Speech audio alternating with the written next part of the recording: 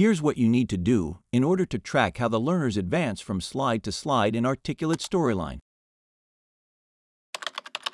Go to cluelabs.com and log in or create a free account if you don't have one. From the drop-down menu at the top of the screen, select Analytics. Click Create a new project.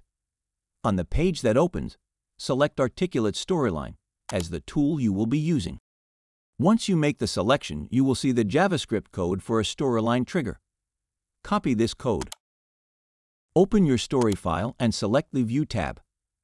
Click Slide Master and locate the main master in your course. In the Triggers panel, click the blank sheet to create a new trigger. Select Execute JavaScript and click to open the code window. Paste the code you copied into this window and click OK. Select When the timeline starts on this slide. Then click OK. You're all set. Once the learners start accessing the course, the course access data will show in the reports. The progression report will show the order in which the learners go through the slides, as well as the last slides they see before exiting the course.